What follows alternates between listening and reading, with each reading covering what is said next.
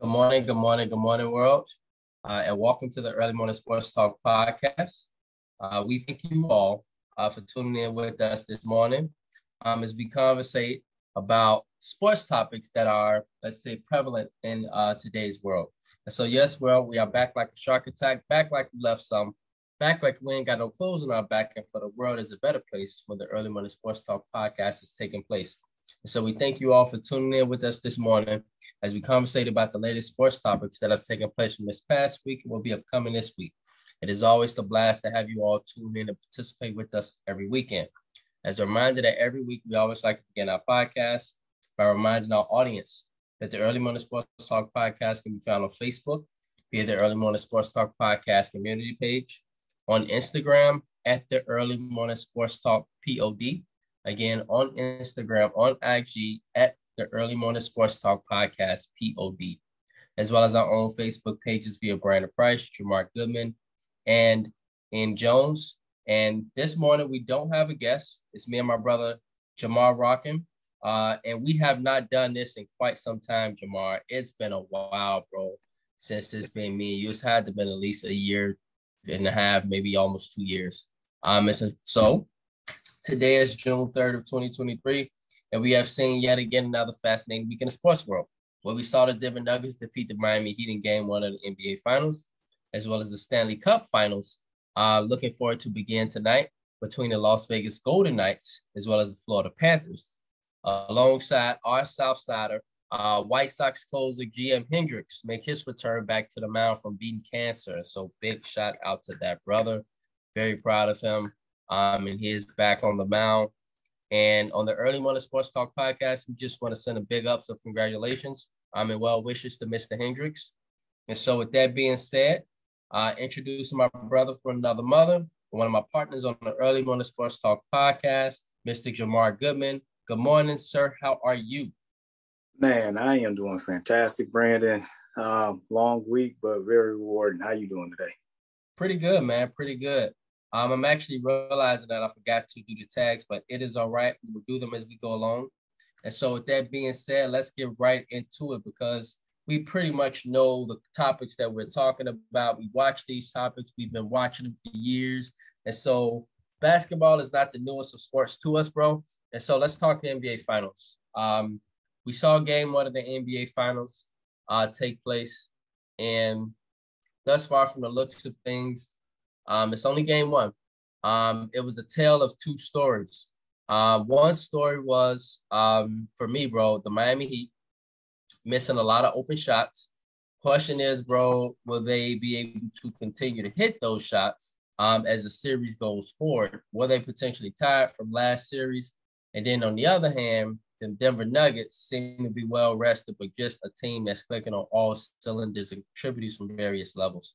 But I want your opinion, bro, and we can chime in from there. And so just give me your thoughts on the NBA finals. Um, and additionally, let's see who you will have for your pick in regards to who you think will host the NBA championship trophy for the season. And just first things first, just want to, you know, shout out both of these teams for getting here because the path that they, you know, took to get here. Um, especially for Miami, was the road less traveled per se. But nevertheless, you know, Denver's first time to the finals, uh, Miami and his historic run so far. So we have two teams that's worthy of being here based on what they've been through. With all that being said, we saw game one on uh, Thursday. From the moments that I was able to watch the game, it just looked like Miami was getting bullied mm. by Denver. Denver just did whatever they wanted. Um, if Denver wanted to shoot open threes, they got open threes. If Denver wanted to, you know, use their height advantage and bully them down low, that's what they did. If, mm-hmm. if Denver wanted to get to the free throw line, that's what they did. If, if Denver wanted to, you know, uh, play stifling defense and read what the offense was running, that's what they did. they did mm-hmm. exactly what they wanted to do. They they wanted Bam Adebayo to take 25 shots. That's the most shots he ever took in his career. They mm. they wanted him to do that. That was intentional, huh? Absolutely. mm-hmm. Because I mean, at the end of the day, I mean, would you rather have Bam Adebayo shooting 15 20 foot jump shots all game? Or would you want right.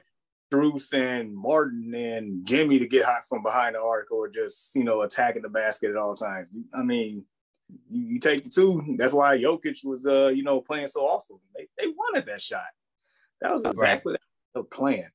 So, needless to say, I mean, Miami's, you know, in the fourth quarter started to, you know, maybe figure some things out, but nevertheless, you know, Denver controlled that game by far. Um, Miami shot two free throws the whole game. That is the lowest amount two free throws ever, ever mm-hmm. in a playoff game. 2 mm-hmm. Wow. Denver yeah. shot 20. Um, and you know, Miami for Miami to be here, you know, in the regular season, they wasn't the greatest three-point shooting team at all. Their defense was there, but the three-point shooting wasn't there.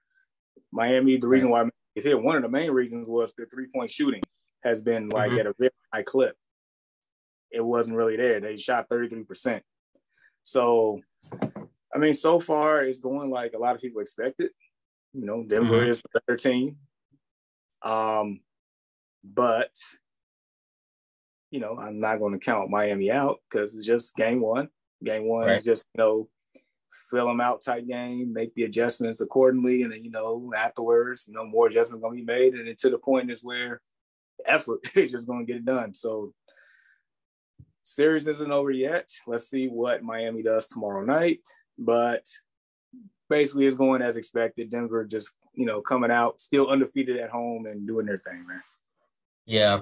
Um, and to kind of just hit on what you're saying, like in regards to the series, um, and let's just say for game one, the biggest expectation, um, I think, was probably unanimous, Jamar.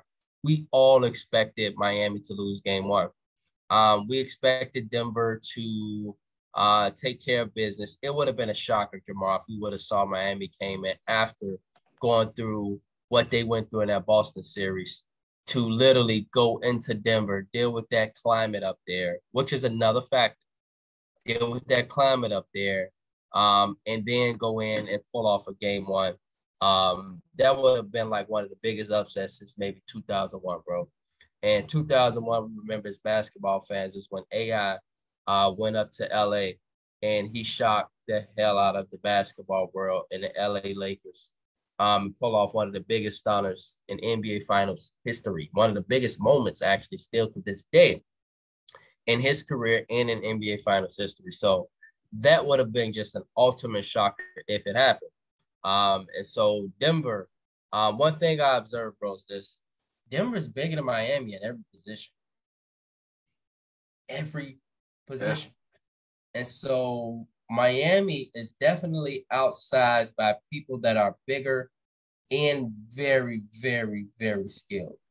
And so it's like at a moment, Jamar, what can you really do with the Joker uh, when it really comes down to it? Uh, when it really came down to Joker needing a basket, he got his basket when he wanted it, like you stated. And he's been doing that the whole playoffs. It just ain't been Miami. Yeah. and so one thing I observed, bro, is when he got the rock, right? Third quarter, he really ain't do nothing. We like, oh, the Joker is very quiet this game. Low key, he still had a triple double yard, but a lot of that came in the fourth quarter. Um, he wasn't doing normal Joker stuff. It was more so Jamal Murray being unstoppable, and which um, I will talk about that shortly. Mm-hmm. Um, and I got a I got a question for you to see what can the Heat do about that. But he basically got the rock, back down Bam Adebayo. As soon as he did it, it was a foul. I'm like, oh yeah, yeah, yeah, yeah. We kind of knew this would happen, but we like, all right, if it's this easy, then yeah. And this once again kind of goes to the traditional Heat, bro. The Heat heart, the Heat great culture, the Heat hard work, undrafted players one of their biggest downfalls for me, honestly, bro, is they don't have enough size sometimes. And so teams are able to expose Bam. They are able to expose Bam. That's what LeBron them did in the bubble. The, the Lakers were just too big for them. If the Lakers had a bigger man, they could have actually gave Denver more of a run. If they had a second center outside of AD. We all know that if the Lakers were bigger, they couldn't put in this other guy behind uh, AD. He just wasn't enough. He was too small. Um, and so yeah, Miami, you know, they ain't got Dedmon no more. Um, they got uh, you know, this guy who comes in with a lot of energy. When he kind of defended him, um, Cody, I'm like, yeah. all right, Jamal. I'm like, all right. Cody got, and excuse me, y'all, y'all finna kill me. I'm like, he got that white boy energy. Yeah, he got that white boy energy. You know that come out super energized, ready to go, white boy energy, white boy energy. I'm like, all right, he got all that energy. I'm like, all right, he can stick with the Joker, right? But look, the very next possession, that's what the Joker did, bro. He went right at him. He basically got the ball, moved him clean out the way like a damn bowling ball, and dunked on. I'm like, oh. I'm like, oh man. I'm like, he must have been thinking what we were thinking. Like, he really think he can stick me. And he, this is how bold and cold and, and just raw this dude is. He got the rock on the very next possession. Just remind you of some Kobe type stuff. Came right at him, put him clean on the floor, and just sent a blunt message to him and say, "You can't. You thought you you really thought you really thought you can come in and do something." And that must have flat line hurt that man, Coach so bad because he like, yeah, you know, I did great on that possession. I'm the guy that could be the hero here. No, not gonna work. And so that right there was just living proof that he is unguardable, literally. Um, he is so skilled. Um, it's amazing. He is so beefy. It's amazing. He's so tall. It's amazing. He's so lanky. It's amazing. And so, um, yeah, um, the Miami Heat are in for a long series, brother. They are they're in for a very long series here. Um, I'm very interested to see how they come out. They're gonna come out busting game two. I know Miami, they're gonna come out busting. They're gonna come out fighting, they're gonna come out scrapping. Um, I expect the dog fight game too. Uh, but it seemed like Denver, they just been on that all year. They like, all right, we we've been into dog fights, and when it's time to score, we get our buckets. But the one question I got for you this is this, Jamar. Um. And good morning to our viewers. Uh, please feel free to chime in and uh, chat with us. Jamal Murray was going off. And as a basketball fan or somebody that watches the game and you look at people with certain heights and etc., I was just thinking, why not put Jimmy Butler on Jamal Murray and let somebody else stick the others, you know, and then you try to do your best to put on Adebayo or Joker. Right. Um, but the Heat didn't do that. And so, can you maybe explain why the Heat didn't do that? And do you think that's a possibility for them to do in regards to making adjustments for the rest of the series? I mean, there's only two things I can think of why they didn't do that initially. One, uh, maybe because they're trying to conserve, you know, Jimmy Butler. Uh-huh. And, you know, in the beginning of the playoffs, especially in the Milwaukee series, you know, he used a lot of energy. It was going berserk. Even Jrue Holiday says, not even like MJ in his prime or LeBron in his peak could stop the shots that Jimmy Butler was hitting. So maybe all that energy mm. he exerting early on, as you see as we go further in the playoffs, his scoring hasn't been there. He's been, you know, more you know, in certain games, just being lackadaisical at times. Like at the beginning of this game, he hit he had the first five points and then chilled out. Is it because Very. he's tired? Is he trying to conserve his energy to the fourth quarter? Like is it the know, length of Denver? I mean, that could be a possibility too. So so maybe that's part of the reason why they didn't put him on Murray. And then the other thing is maybe maybe they didn't want him to get in foul trouble.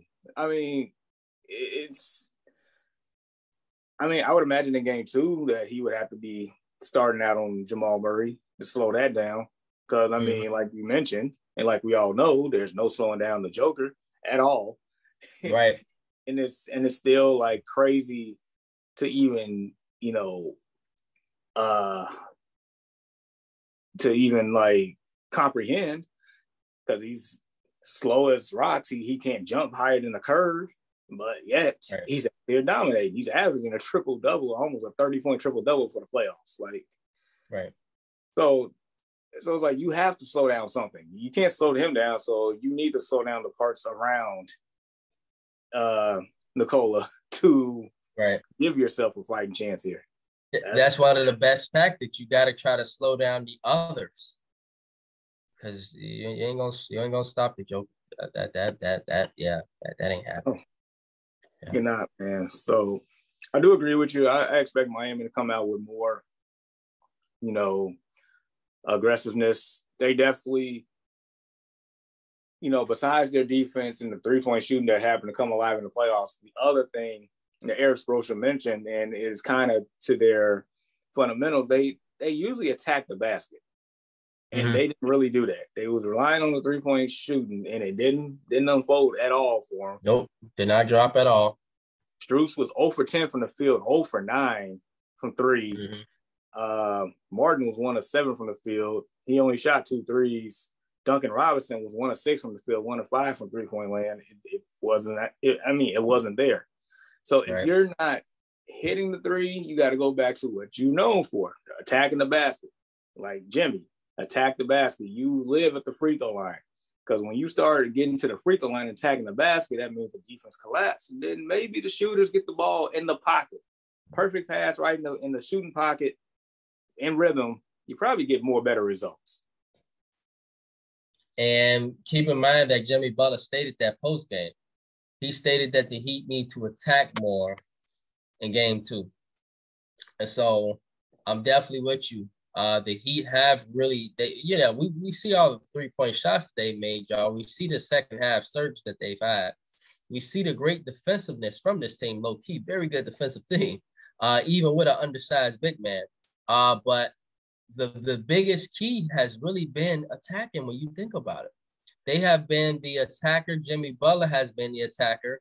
Um, and when they attack and they go down and they put their head down to get to the basket, they are causing fouls. And they are making a big living off the free throw line. A big living, especially Jimmy Butler. Think about it. What happened in game six? He started attacking. He put his head down. He got to the basket. He made about seven free throws in those last four or five minutes of that game to bring them from being down to get them to that deficit and get them up by uh, three points late in the game. And so, or sorry, one point late in the game. And so, yeah, it, it was just like I felt like Miami was just chugging up a lot of jump shots, a lot of jump shots, a lot of jump shots. And the jump shots was not dropping. Good morning, Kevin Brown. Kevin Brown stated all facts. And so, you know, like they were chugging up a lot of jump shots. They were not dropping. Um, and yeah, man, I'm just I'm curious, bro. Was that part of fatigue? Was that part of the length of Denver? Um, right. that climate up there is a real thing according to other players. Like, you know, they state that that's a real thing, that climate in Denver. Um, it could have been a number of factors just being on the road. Um, you coming from uh, Boston, going directly to Denver, um, could be a number of things. And so, um, yeah, I guess in this case now, oh, go ahead, bro. I was going to say, um, um, our our uh, counterpart, Ian, he he said that uh, Joker's on a different level of basketball right now. It's giving LeBron basketball IQ with Dirk shooting. Miami has no chance. Um, yeah. Oh, I see that comment. Yeah. Mm. But, but that's a perfect segue to a question I wanted to ask you because so we we know who uh, Chris Broussard is, you know, Fox Sports One, used to be on ESPN, yeah. yada yada. Chris, yeah. He said that if Denver win this finals and, and the Joker gets the championship, he's already ahead of Dirk Nowitzki. What do you think about that? man, who that is tough as hell because Dirk in his career, um, I mean, he's an all-time great. He is an all-time great. Um, and to literally talk about his whole career. Um, he's had one of the greatest careers of all time, one of the most unstoppable forces in NBA history. Um, but honestly, I would say if I'm looking from Joker from a basketball standpoint as a player, Jamar, Yeah. I would say yes, he's a ba- overall better basketball player than the Joker. We probably can agree there because of all the things that the Joker do. But in regards to passing him up, um, I don't think he's passed him up yet. Um, it would be nice, yeah, one championship. But remember, Dirk went to two NBA finals. Remember, Correct. Dirk was up against Miami, uh, 2-1 um, until Dwyane Wade happened um, in 2006. Dirk went to the conference finals about five times, if I'm not mistaken. He went once with Steve Nash, twice with Steve Nash, and after that, he had a nice run with all those other teams. So Dirk, uh, excuse me, um, had quite an uh, NBA career. And so I don't necessarily know if he passed him up. I think he still got work to do. But my question would be in regards to passing him up, are he is he saying just like all time? Is he stating on the basis of European basketball greatness? Like, you know, I, I think it's like legacy. Okay, legacy. And so uh yeah, I don't say uh not I, I don't I don't think nah, not now, bro. But you know, don't get me wrong. Joker's fantastic, but passing no. up Dirk right now, he got more work to do. No, nah, I'm I'm I'm with you on that one. Um yeah. Not to mention, you know, I think Dirk is pretty positive. Dirk is what five or six all time in, in scoring on top of that. And then mm.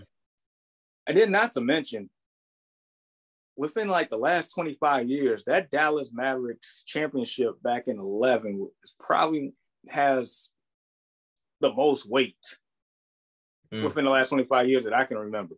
Like and, that title, that title, bro, holds more weight than than I would say like Kevin Durant winning those two rings just just for mm-hmm. Kevin Durant specifically. Right. Like that title holds more weight. Now, let's just say, for instance, if Miami wins this title, I feel like that title is up there with that Dirk title in 11. Yep. But that was biggest title, upsets ever, man. Correct. So, I, I mean, there's there's levels to this. Like you, like let, let's just say, for instance, like like you know Boston in the Bill Russell era, right? With all those championship stuff. Like we don't like this day and age. I mean, we understand the championship, the championship, but do those hold more weight than the competition that it is now? Do we mm-hmm. do we consider it exactly? So it's like Dirk Dirk has like put in the work. We we saw Dirk, you know, go through his triumphs and and you know his his road to to glory through all, all the obstacles he had to climb to get there. Well, like mm-hmm. you mentioned back in 06, it was actually up 2-0 and leading in the third quarter of game three. Mm. Then Dwyane Wade happened and the rest right, is history. Right. They did not mm. recover from that. They lost four straight. It was a wrap. Mm. We saw Dirk win the MVP and get put out in the first round. yep. We is and then the year that they end up winning the championship against Miami and you know the Big Three's first year, I mean they swept the Lakers prior to that. They they went through Kobe, swept him out the playoffs. And, and not to mention that Lakers team that year was a pretty damn good team. Yes, you still have Pau Gasol. You still have Bynum, who was actually Lamar. Like you still had core pieces to that championship team two years prior. I mean, what the prior year? It was so, just yeah the prior year. It was just the prior yeah. year. That was it. People still had the Lakers as favorites. Remember, people were saying if the Lakers won that series, they would go uh, go back to the finals. I remember that specifically from people like Chris Broussard. And yeah, this is why we in college, Mark. You're right, and it, they were um yeah. two time champs at the time. Yeah, exactly.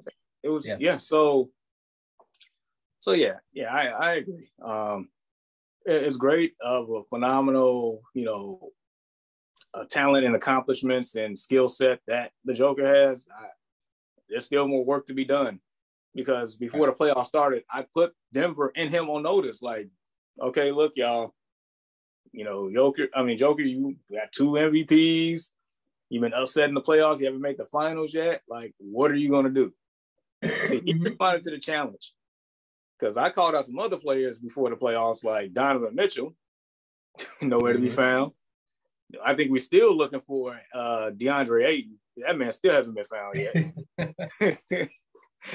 um, so, so at, at, least you know Joker's responding here. I mean, but, yeah, as far as career wise, it, it's still some more work to be done. But is there is it out the realm of possibility that he could pass Dirk? Not at all. I mean, that's that's right. real. Possible. Absolutely. Yeah. So, it could be rather sooner than later, but you know, it depends on um he got to get uh definitely I would say another ring for me. Um he could continue Jamar to um you know score and that'd be great. But um I would say he need a at least a couple more years. He need he need a couple more years because we talking about a whole career here. So yeah, it's quite disrespectful. On the other hand, um Ian Jones, uh, he's cracking up from something. Um, and then Prescott JB, good morning, stated, here's a strategy for the Heat. Never ever shoot threes again. And so he's giving the Miami Heat advice to lay off the threes.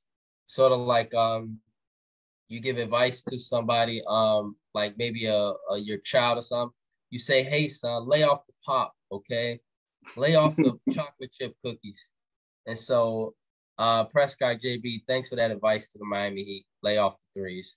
On the other hand, Kevin Brown stated, and he sounds like um, he's in agreement with you. I don't think he passes him up. I think Joker is a better all around player, but Dirk had to go through Shaq, Kobe, Tim Duncan, and David Robinson in the first 10 years. Um, not to mention LeBron, uh, not to mention um, various other greats. And so yeah. like this is uh this is true, Kevin. I mean, dude, I remember growing up as a kid, like the Western Conference had powerhouses left and right. Oh my god, with yeah. big men. Like we forget, like Chris Webber, he had to go through that, and that Kings right. team. Uh, Kareem Abdul-Rahim at one point in time. I mean, uh, Rasheed Wallace. I mean, dude, like it was stacked. It was fun to watch. Like Absolutely. You, you know, at one point, yeah, it was the Lakers, but then it was like everybody else that was competitive enough to give the Lakers a run for their money at certain points in time. But you know, when the Lakers right. at, their peak, then it was like back in 01 when nobody stopping that. But other than that, I mean, it was it was great. And you right. to go that built character, that built his toughness. Because when he came in the league, he was known to be soft. Like I thought he was soft. Right, me too. Especially after 06, I'm like, dang, you just got bullied. But when he won in 11, that label went off quick. Like he he fought through that. He he, mm-hmm. he actually mentally tough, and he actually plays some defense a little bit. Mm-hmm. Yep. Yeah. Yep. And yeah, Kevin stated Barkley. Like, yeah. Um, you know, the West has been loaded for me, uh, Jamar. Man, I would say since the early '90s, really.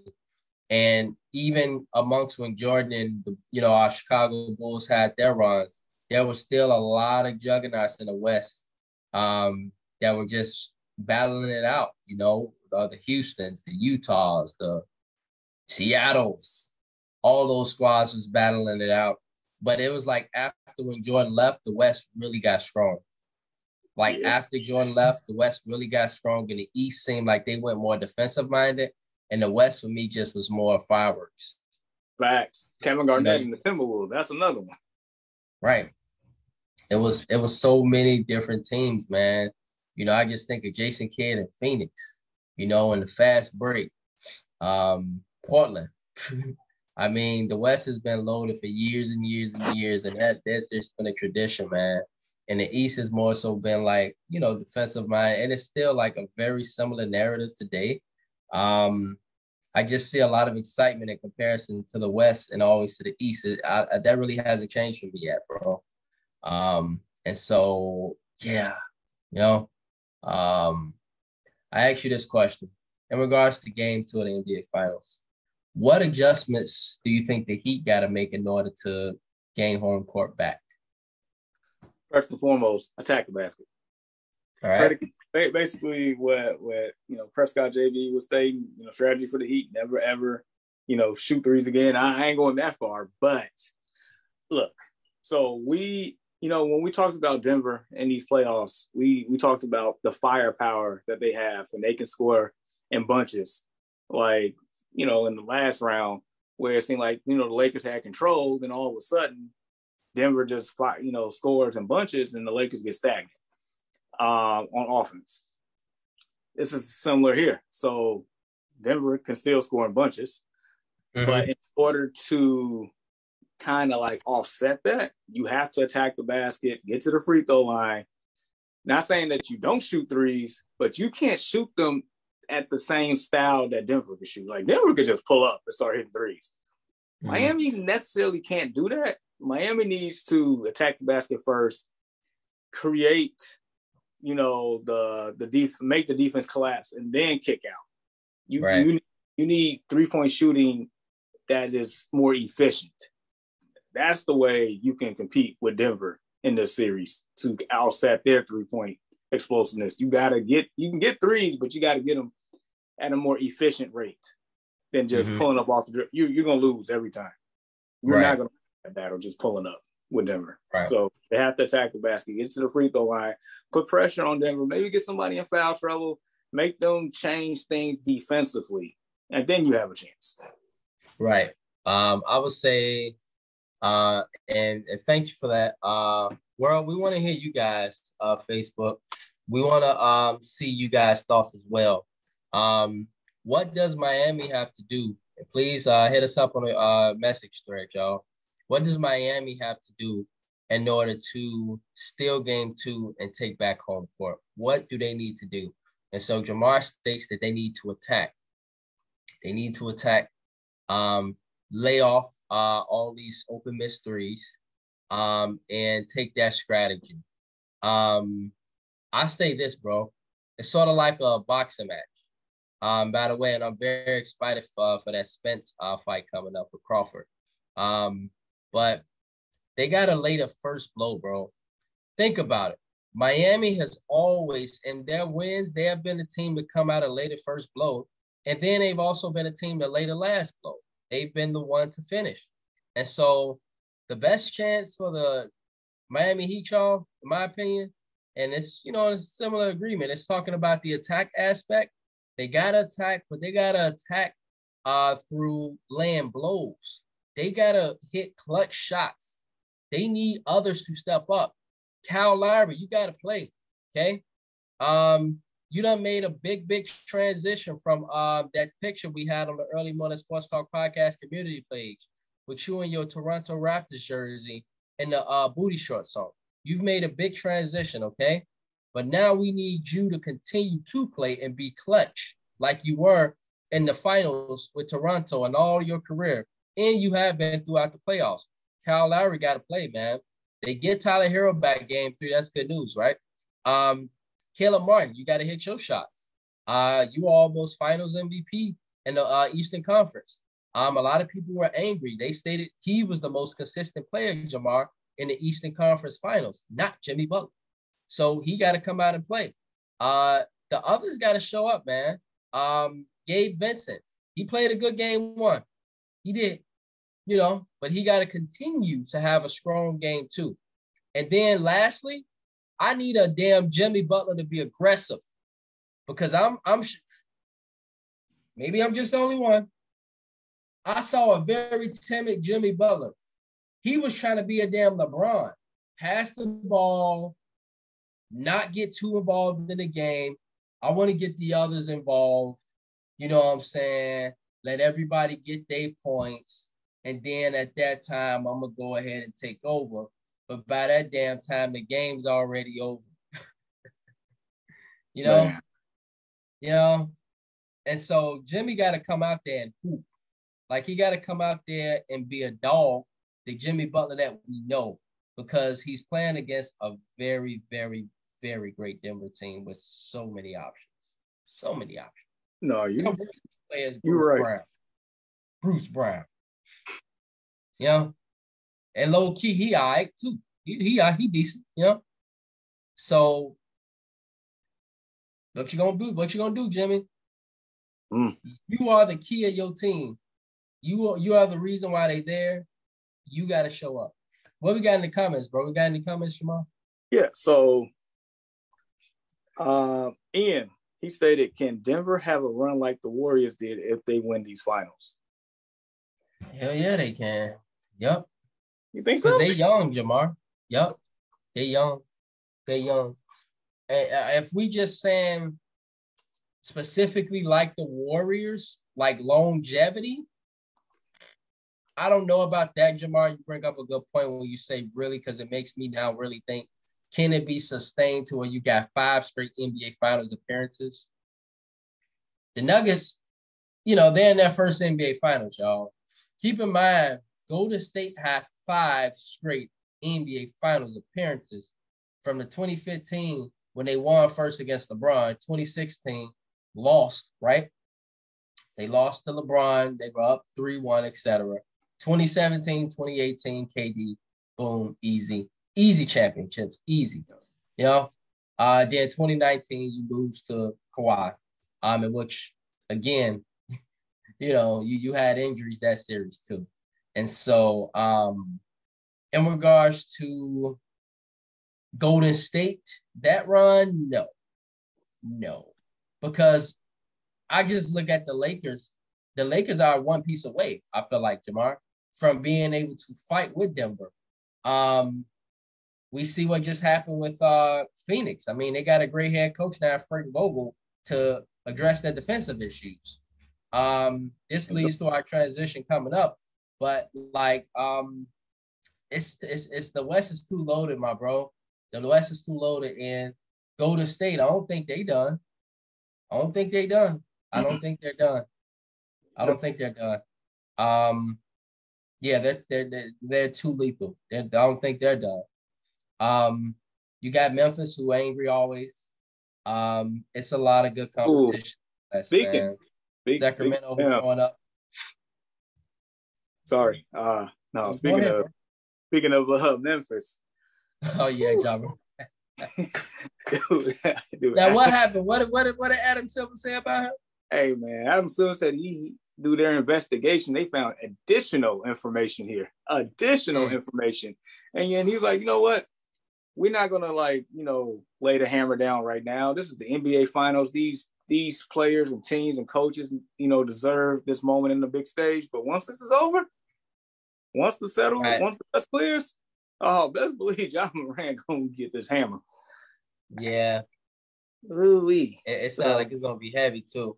And, yeah. and how man, that just sounds so embarrassing. I'd be embarrassed if I was Ja Morant. I wouldn't even go outside because like now everybody they see him walking down the street. Ja, what you do now, bro? What you do now? Huh? What Adam Silver gonna say next? Huh? I bet his dad called him like, what your ass do now? Huh? Like that's that's one of those is like when you like acting when you a kid and you acting up and your mom was like, oh, wait till we get home. You getting a whipping when right. you get home. so you quiet the whole car ride home, hoping she forget.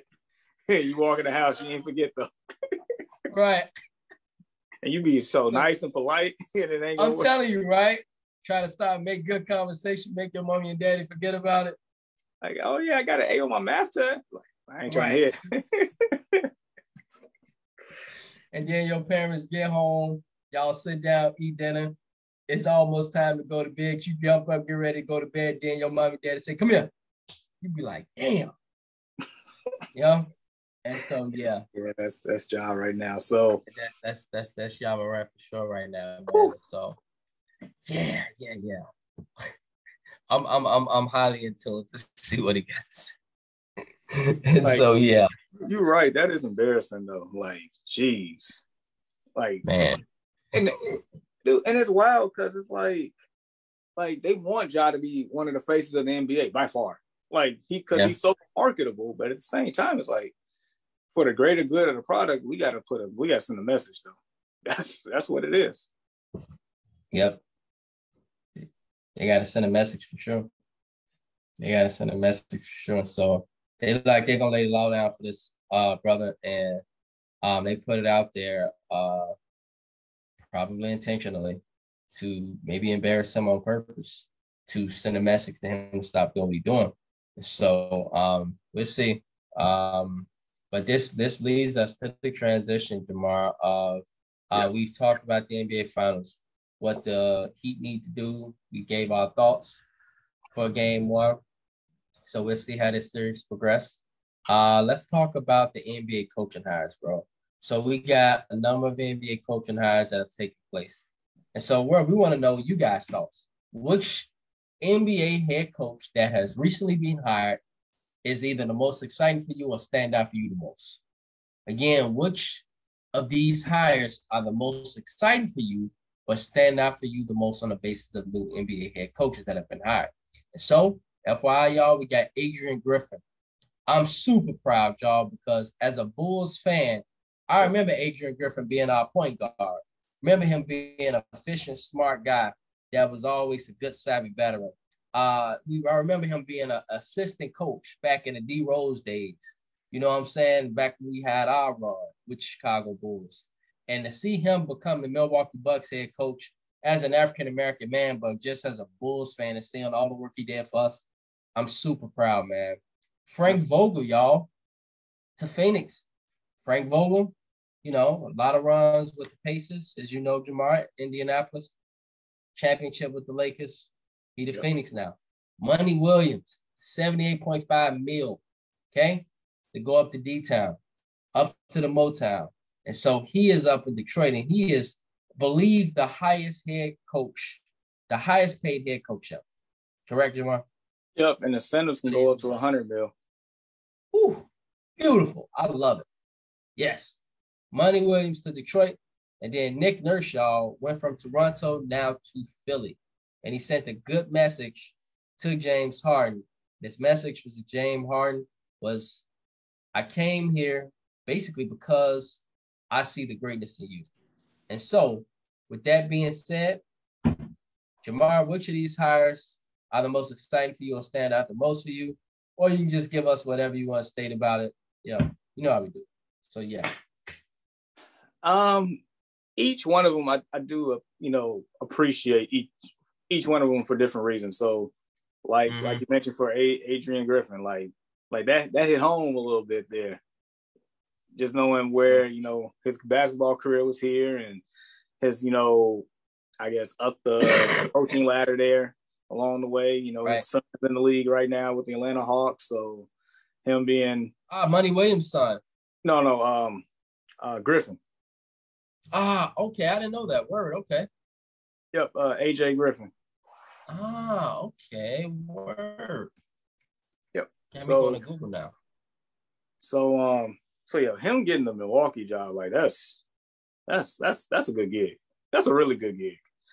Um, but you know, there are questions with Giannis. Does he really want to stay in Milwaukee? I mean, we'll we'll find out in the next summer. Um, right. Mm, the, a really good point the Frank Vogel one, I and that like I'm personally I'm happy for Frank Vogel because you know he was the scapegoat for, for the Lakers, right? Like they just blame the Lakers not having any success on Frank Vogel when we know it was a lot more than just Frank Vogel. That that wasn't even on him, in my opinion. So to see him and get the Phoenix Suns coaching job, which is definitely one of the better ones, opportunities in this league, uh, in a win now mode, who you know is a proven winner um, with his pedigree. So to see that, and just just FYI, this is Kevin Durant's fourth coach within the last 365 days. Wow. Mm. So just take yeah. that. With, oh, that's a lot. That's a lot to deal with. Yeah. Um, Monty going to Detroit. I'm I'm excited to see that. I am because I want to see what he's gonna do with these young pieces. They have exactly, bro. They have a bunch of young, high lottery draft pick talent there. You got mm-hmm. Cade Cunningham when they got a number one pick a couple years ago. Like that mm-hmm. dude's gonna be really good. You drafted mm-hmm. Jaden Ivey, boiler up.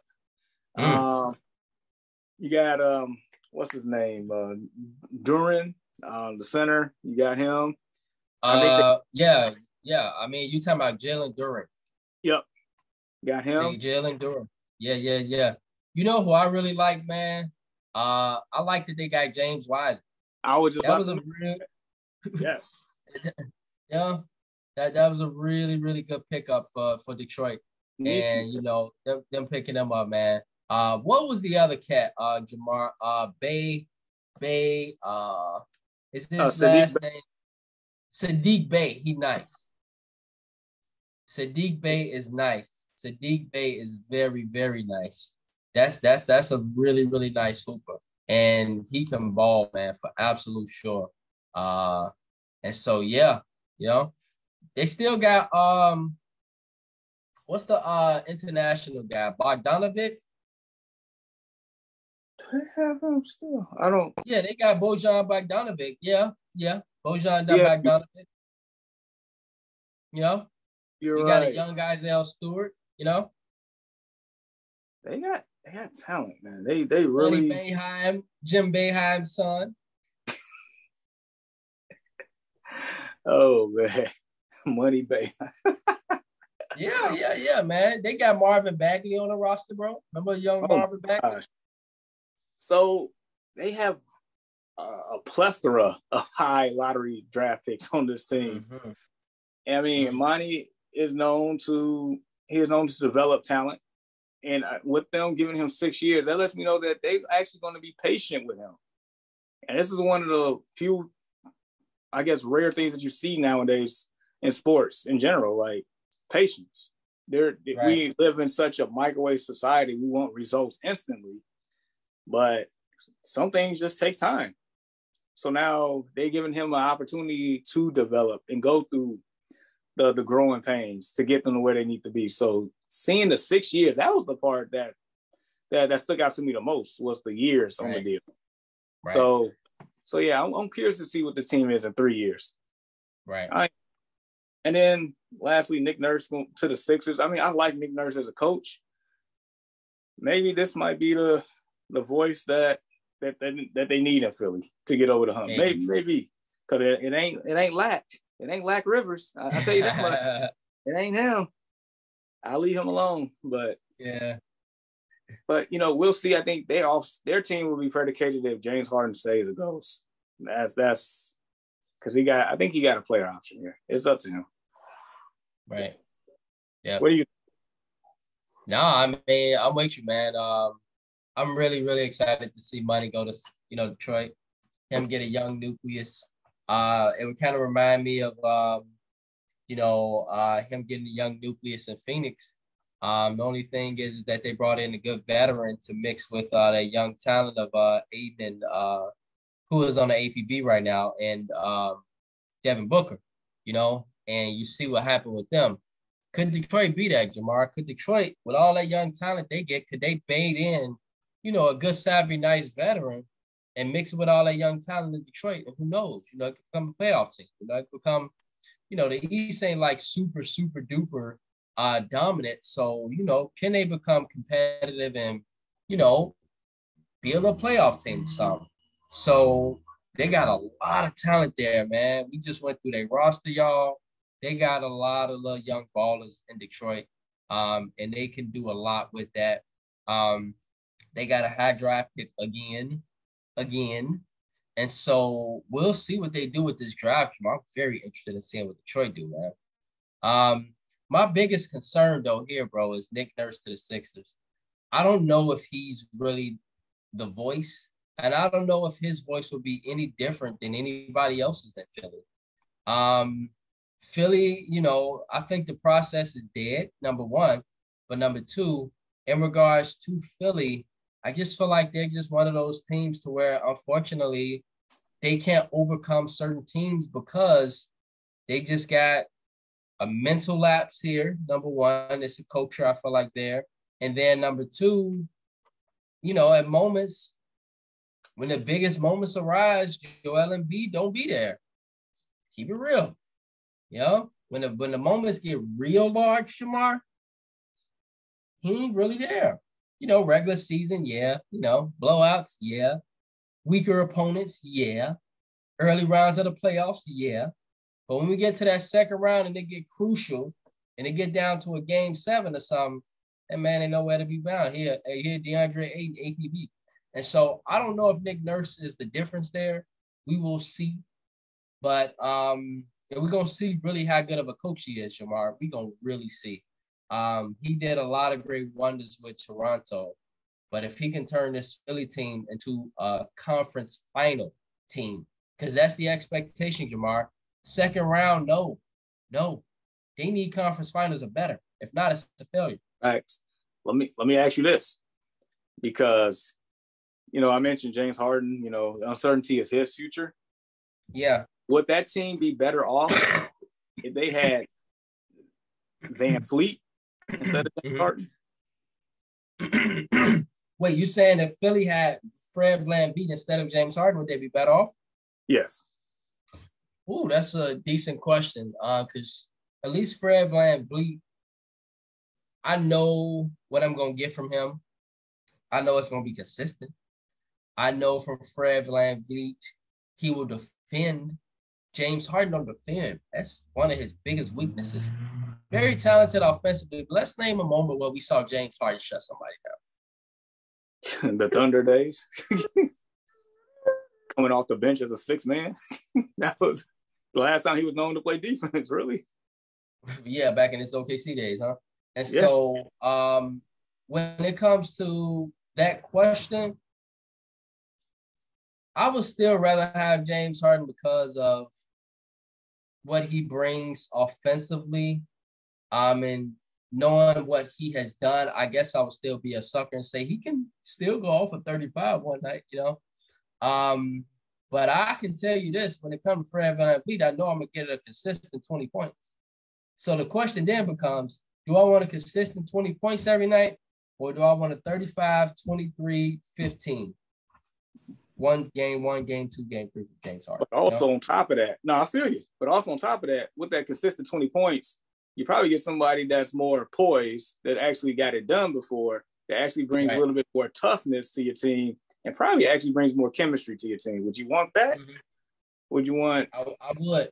I would. And so um, I'm changing my answer. I, I would go with Fred VanVleet because I, I see the consistency. And I know what I'm gonna get with him. And yeah. I know that when it really counts, he'll be there. You know, James, I don't know. I really don't. And that's a shame to think of based off of the contract that he's gotten, the money he's made over his career, you know, and the the the respect he has around the league for being like a, a superstar. But is he really a superstar? Mm. Superstars, you know, they they get it done and they go to the, you know, they they get it done in the big moments, etc.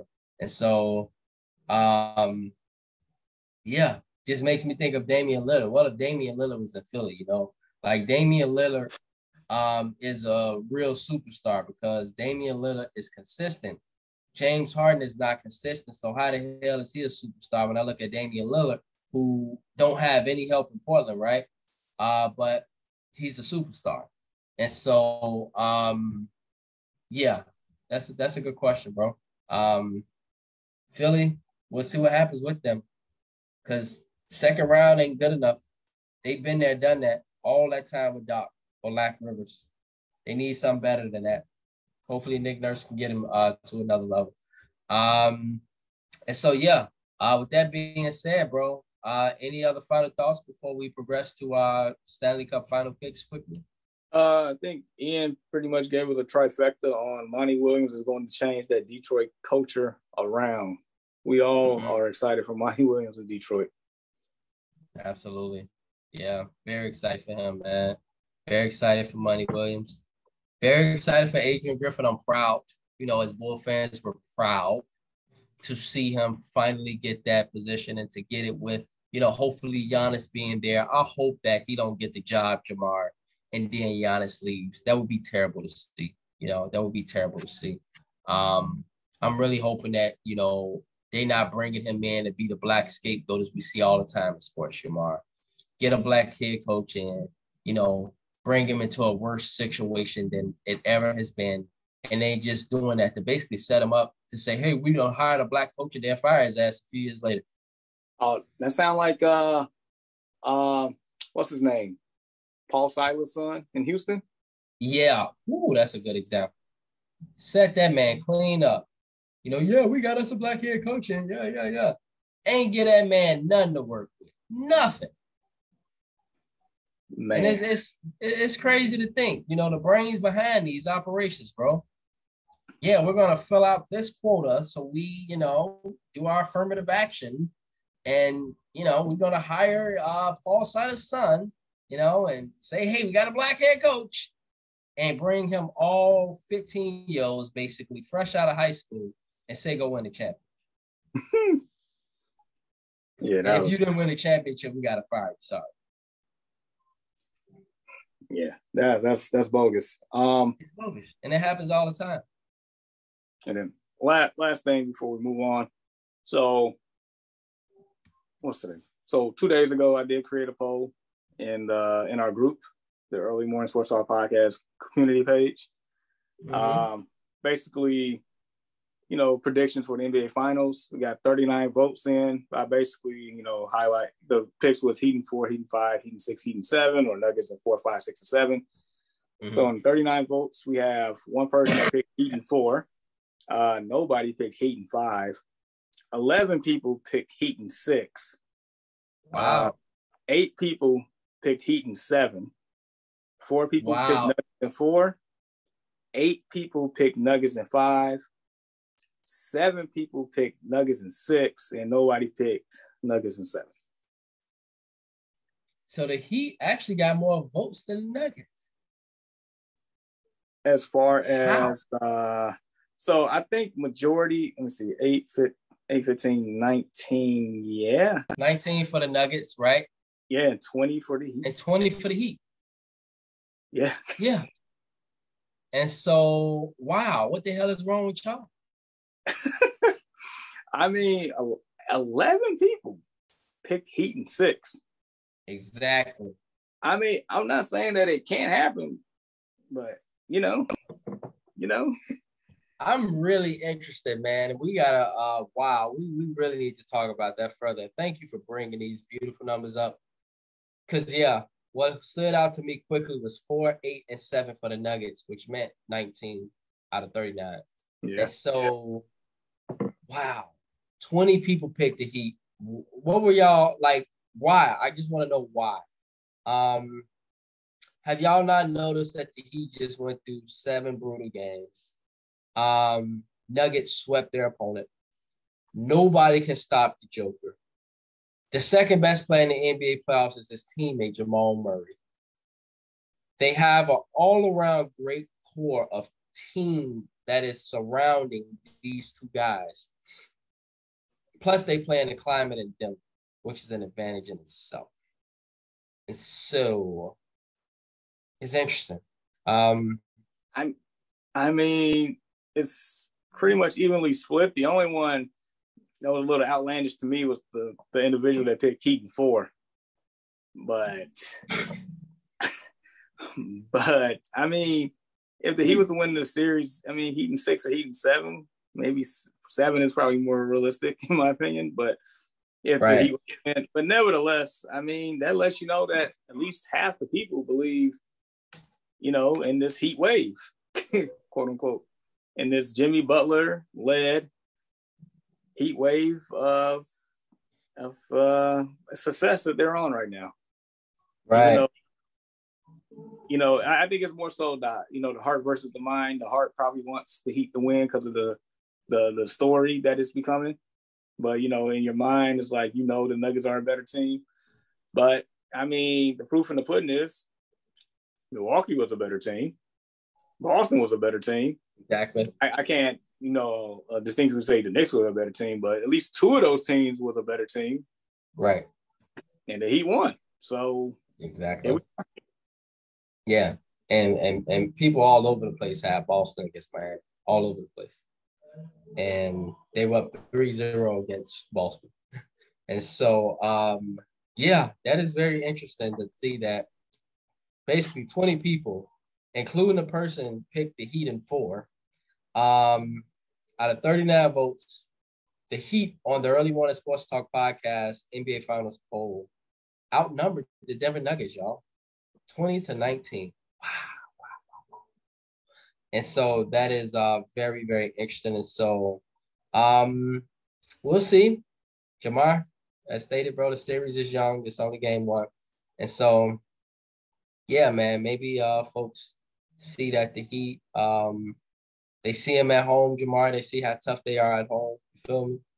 And they like, hey, you know, like the series can shift for someone to get to South Beach, or they feel like maybe they can steal one in Denver.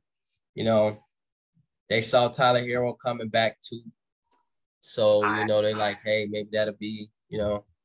I mean, Tyler Herro coming back, that, that, that that's huge. But we'll, I guess we'll see what happens.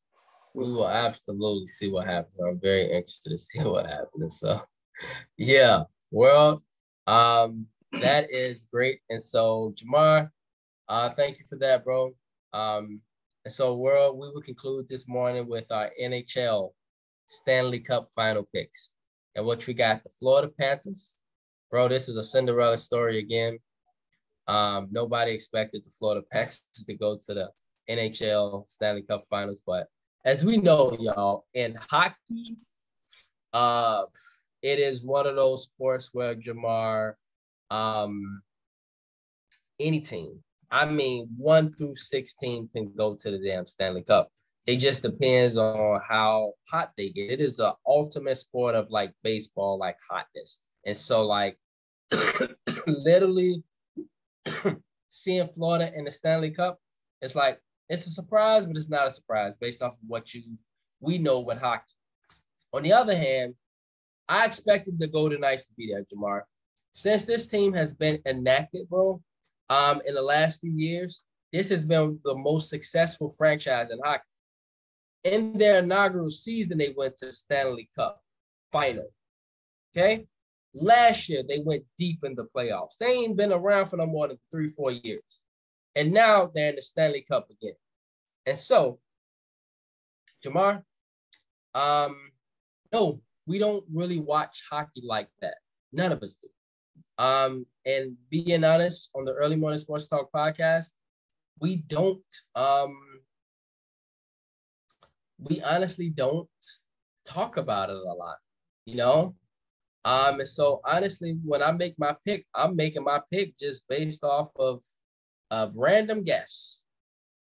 And I'm gonna just state the team I want to see win because I really don't know who is the better team. And I'm just telling y'all from a standpoint of hockey, it ain't about who's the better team. It's about who's the hottest team. It's about whose skates are flowing the best. Just like you're out there skating, Jamar, your skates are just free. So, um, with that being said, bro, Vegas has home court. They started out in Vegas. Okay. And so with that being said, Jamar, who do you have for the Stanley Cup? Who do you want to see win, or just who do you have for the Stanley Cup? Like I, I appreciate your your full blown honesty here uh, as far as hockey, because I am hundred and ten percent in the same boat here. Especially since there's, yeah. there's no Blackhawks to be around for a while, so I'm just like yeah paying attention from a distance, from a far distance, right. but just knowing for the record books. Um, yeah, I mean, I was aware of Las Vegas, you know, being really good in their short years of existence here. And I'm like, I was sitting here like, didn't they go to the finals? And then you mentioned, I'm like, yep. So, that hey, Jamar, can I make one quick point, my brother? Let me show y'all about hockey, okay? Show you how up and down this uh this is unbelievable, Jamar, how up and down and how close this sport is, how close it is. You can have seeds one through eight, Jamar, and only a goal or a few skates will separate that one game, literally, bro. When it comes to the consensus for the pick for the NHL Stanley Cup, y'all, the 22 Stanley Cup final between the Vegas Golden Knights and Florida Panthers is the equivalent of the 50 50 puck battle according to 16 NHL.com writers and editors. Eight predicted Jamar the Golden Knights to win the cup, while the other eight believe the Panthers will win. And so we're not wrong for making a guess. Not at all. no, we're not. Um, I mean, you're right. You're definitely right as far as like like home ice doesn't really have that advantage. It's just more so who's hot. And it kind of had, like you mentioned, which I was going to mention, the baseball effect. A hot team that just hot at the right time. That just like in baseball, you're just seeing the ball right, you know, more clear at the right time. Mm-hmm. Just like, just like it's same boat. So I'm a sucker for Cinderella stories. I am. I, am gonna pick Florida, but I, I, feel like my it's mind over heart thing. I feel like my brain says the Golden Knights should win, supposed to win, but screw it. I'm going with the Cinderella here. Right. Yeah. Yeah. Um. All right, I see Ian Jones chiming in with Dwayne Hawkins. Um, Dwayne Hawkins stated, "Ian Jones, why don't they?" Uh, he's talking about Joker's on a different level of basketball right now, and so Dwayne Hawkins is coming in. He's taking up for the Heat, I can imagine. Um, and Ian Jones stated, "Dwayne Hawkins, Denver is healthy and too deep, in my opinion." And so, yeah, um, Dwayne, we love you, my brother. We know you are a great supporter of the Early Morning Sports Talk podcast. Um, but you know, um, if it comes to Miami winning the series, they will have to do it with speed. They will have to come and they will have to punk Denver. Um, and so we're not saying it's impossible. We're not. But your Heat definitely is an underdog in this series. And so um, we'll see how it turns out. The Heat has proved everybody wrong, everybody. And Jamar pointed that out before the NBA playoffs. He stated it was a team that could lose in the first round and a team that can go to the championship. And here they are. And so uh, we will see, man. Um, but they definitely are underdog. Um, on the other hand, when it comes to the Stanley Cup Finals, wow, this stat is unbelievable, man. This is unbelievable. And so I'm gonna go with the Golden Knights. And the reason why I'm gonna go with the Golden Knights, Jamar, is simply this: they have been there, done that for the last few years. Went to the Stanley Cup recently. Went to the Western Conference Finals last year. Um, so they have been a team that's been peaking. And so, you know, this Cinderella story um, is very real and it works in hockey. Um, but, you know, I'm just go with experience here and say the Golden Knights uh, because of home court and because of experience. and I cough because I'm not sure. So, yeah, that is my pick for the NHL Stanley Cup Finals. Um, on the other hand, good morning, Jeremy. Good morning, good morning, Dwayne. Um, you guys, let us know about your uh, picks for the Stanley Cup Finals. Um, out of 16 NHL.com writers, eight got the Golden Knights, eight got Florida. So um, there appears to not be a popular opinion here on who will win. Um, and it appears to just be a very, very, very close series. And so, yeah, home ice. Sorry, uh, and we were saying home court, but home ice. Ian told us home ice. And so, um, yeah, Vegas got home ice in this case. And so maybe the home ice will uh, work out. So I got Vegas. Uh, let us know, fellas. Uh, Ian got Florida for the Cinderella story. And so Dwayne, oh, he's, yeah, he only focused on his Miami Heat. He stated, I get that, but still, they only lost by 12. They only lost by 12, right, Dwayne? And they only shot two free throws, which is strange. And Jimmy only had 13. How many games do you think Strus and Martin gonna have like they had game one? I'm going my Heat in six to seven. All we need is with game two in Denver, just to let them know that we the real deal, and that will give us the confidence we need. All right. We ain't counting Miami out we ain't count them out. We know who they are. And so let's see, man. Game two is a very big game. And so we'll see the adjustment that the Heat make. Um, and if the Heat do steal game two, then Jamar, yeah, it's going to become a series. But if they lose game two, it's to be tough on them. Because all Denver would need to do is steal one in my uh Miami. And so uh, we'll see. It's to be very, very, very interesting to see what happens with the rest of the series. So Jamar, any final thoughts uh, before we close out? Good morning, good morning, Dwayne. It's all good, bro. Any final thoughts on anything, man? Like before we get to our final thoughts and shout outs. Um just uh I guess just a quick note. Um apparently Miami has not won in Denver since 2016. Ooh, okay. Wow. Okay. Well, this will be a perfect time in the end that spell, right? And yeah, so absolutely. You know, if if they were to do it, it would be epic. It would be epic.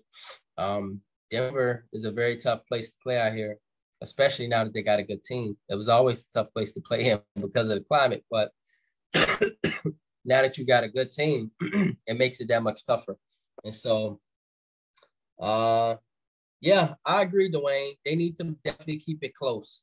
They need to keep it close in order to let Jimmy do what he do. Um, now, we'll see, but I think one thing also we need to begin to acknowledge Jamar at this point, and this is my final point before we close. People underestimate the defense of Denver. They really, really underestimate the defensive prowess of Denver. Miami get a lot of credit, but Denver, y'all, have we thought about how lengthy they are and how lengthy they are compared to everybody they play? Denver was bigger than the Lakers. You know, Michael like, Porter Jr. is taller than LeBron. Michael Porter Jr. is 6'10. I did not know that, Jamar. Mm-hmm. Yeah. He can do all that at 6'10. That's one of the reasons why I was so highly, you know, um, excited for this guy when he was coming out. Um. Besides the scoring ability, uh, and to piggyback off what you said, so I was watching a clip, pretty sure yesterday, and it was stating that uh, it was from game one, and Jokic was at the free throw line, and he saw Kyle Lowry, I guess, get the the play call from the bench, and so he, you know, gave a hand signal to the team. Jokic picked up on it and gave his own signal of what the play was. And sure enough, they ran the play and let him behold, turnover. Easy mm. fast break. So it was like like we we know that Jokic is like a great mind on offense for sure. The IQ is there, but it's like if he's doing this type of stuff as well for the defensive end, it makes it. I ain't gonna say they don't have a chance, but sheesh, like you gotta like really be playing chess out here. There, there's no checkers to be right. at all. Right, right, right, right. And so it's it's very very interesting. And so yeah, you know, Dwayne he taking off his heat and he got a right to. Um, As he should. Right, right. You know, he said I still don't understand how we only shot free throws and yeah, they got length everywhere, but length can be beat. Look at the Celtics; they were lengthy. So, mm. yeah. So we'll see. We'll see, Mark. And so, with that being said, bro, any final thoughts or shout outs as we head into the weekend? Brother, we are in June. That means yes. we're a month away from NFL training camp, which right. means there are less than 100 days from the NFL kickoff. And so mm-hmm there are, you know, it is past June 1st. That means you're going to be, there's going to be some veterans that's going to be cut here. One of the names that I'm looking forward to to be cut, um, his name is Dalvin Cook. I'm, I'm ready for him to be gone out, out the division. All right. Um, okay. And so I'm just gonna use saying that as an example because he's probably gonna end up in either uh, Miami or Buffalo. Miami, right? but nonetheless, it's just more so that the NFL continues to make headlines, continues to be a 365 day a year operation that dominates the sports in this country because it like the NBA finals are going still going on and the NFL can make headways on something and still gain full attention of the country. That's how powerful the billion dollar industry is. So therefore, right. you know, just be on the lookout for moves like that. Other than that, I'm enjoying the summer weather. I I I, I suggest everybody else do the same. Right. Yeah. So, yeah, appreciate that, man. Uh, yes. and Dwayne Hawkins, yeah, you got it. I hope Cook goes to the Lions, LMA, AO, just because. So, and also stated D Hop has a location too. I'm thinking answer comes Tuesday. And so yeah, I hope yeah, D- I hope DeAndre Hopkins goes to the Buffalo Bills. How about that? Yeah, and so Patriots fan. right, DeAndre Hopkins goes to the uh to the Bills. That'd be fun for you, right, Dwayne? And so Yeah. say go go to the Packers. Stay in your division. so and so yeah. I love the clap back between Jamar and Dwayne, your brothers. So yes. And so world, we appreciate you all chatting with us this morning on the Early Morning Sports Talk podcast. And so we appreciate the love. Uh, everybody stay safe out there. Keep God first. NHL finals began tonight. Game two NBA finals tomorrow. Shout out to Chicago Sky Courtney Vandersloot. Took care of uh, our Chicago Sky, but our Chicago Sky looking tough, y'all. Uh, they lost 77-76 to the Liberty um, at Wintrust. And so that was a very positive thing. And so we will see um, how the weekend progress with sports. Enjoy the weather, stay safe, and keep God first. Thank you all for rocking with us on the Early Morning Sports Talk podcast. May each of you have a great weekend. Peace.